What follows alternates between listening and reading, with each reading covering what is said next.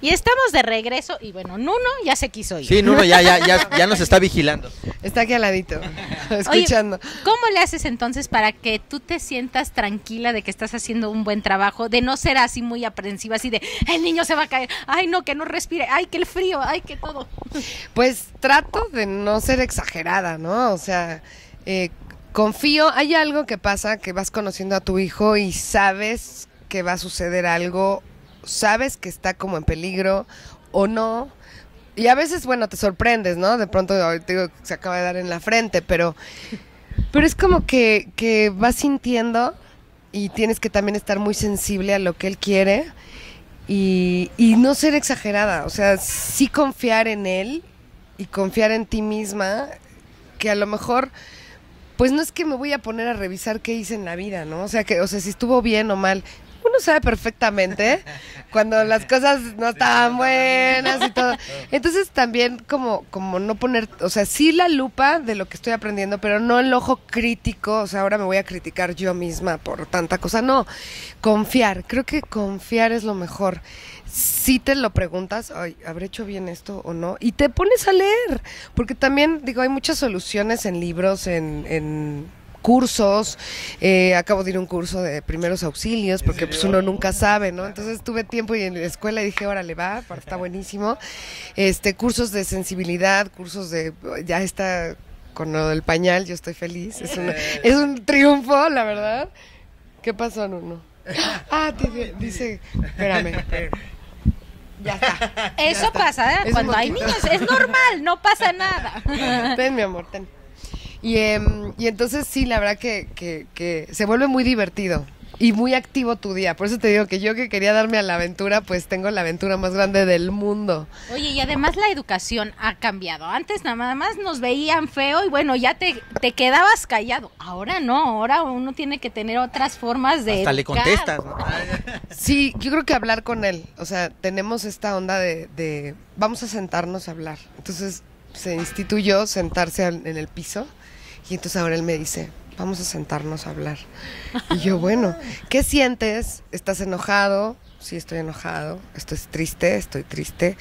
Y todas esas cosas también te las van diciendo en el kinder. O sea, él ya está, ya va a pasar a kinder, está en prematernal. Entonces, este, pues sí, creo que hablar, y también Fede lo, lo, lo hace mucho. Él siempre habló mucho con su hija y tiene una hija de 16 años, Miranda. Eh, y entonces siempre hablar, hablar. Claro que cuando está llorando y tú también te pones medio histérico, no, no, no hay, no es el justo el momento de, pero tratar de que sea sí se puede. O sea, es como cuando te tienes que poner de buenas, ¿no? o sea, estás súper de malas así y no sé, yo tengo que subir al teatro y tengo que dar una función de mamá mía, por ejemplo. Esa función no funciona, o sea, nunca funcionaba la comedia si yo estaba de malas. Entonces tenía que cambiar mi estado de ánimo. Y así, ¿eh? O sea, pero ah, era muy, es muy difícil hacer eso.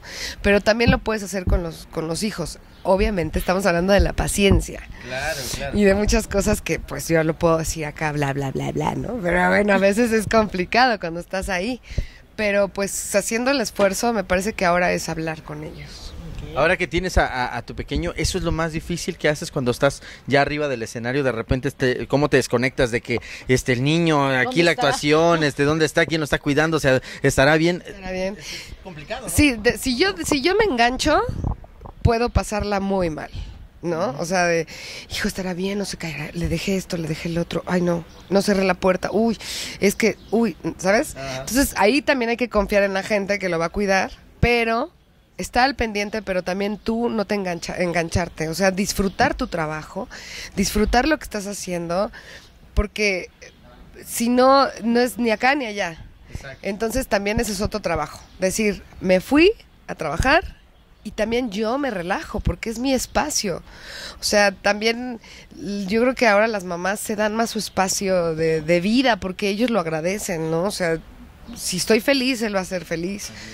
Eh, hablamos mucho de la felicidad. Él me pregunta mucho, ¿estás feliz, mamá? Y también cuando me enojé horrible me dice, ¿estás feliz, mamá? Inmediatamente, ¿no? Es muy listo. Ya se te da risa, ¿no? Y ya dices, ya se me quitó el enojo. Sí, entonces es como que también tú no engancharte. O sea, eh, hacer, eh, trabajar. Te digo que no terminas de trabajar, o sea, es ya voy a la psicóloga y todo, de toda mi vida y todo, pero es como no engancharte en esa situación de que qué estar haciendo, que esto no, no, no, no, no.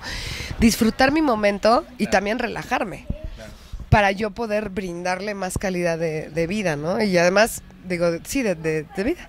Y este y bueno, ahora con el teatro que también es complicado. Cuando yo ensayo, eh, ensayé Hello Dolly y pues me desaparecí. No del todo, ¿verdad? Pero entonces haces todo el esfuerzo para estar los pocos minutos que puedas con calidad. Y bueno, él ya entendió también la dinámica, él va entendiendo la dinámica. Ahorita papá está en casa porque terminó casi normales, mami sigue en Hello Dolly. Cuando los dos estuvimos, él dijo, ok, me voy con mis tíos, que gracias a Dios tengo a mis, a, mis hermanos y, y también vinieron ahora mis suegros, o sea, como que vas viendo por dónde, ¿no? Entonces, este, pues es todo el tiempo es una estrategia, todo el tiempo es estar viendo qué vas a qué vas a solucionar. Pues vamos a una pausa comercial y nos platicas un poquito de Hello Dolly, ¿te parece? Claro, encantada, por supuesto.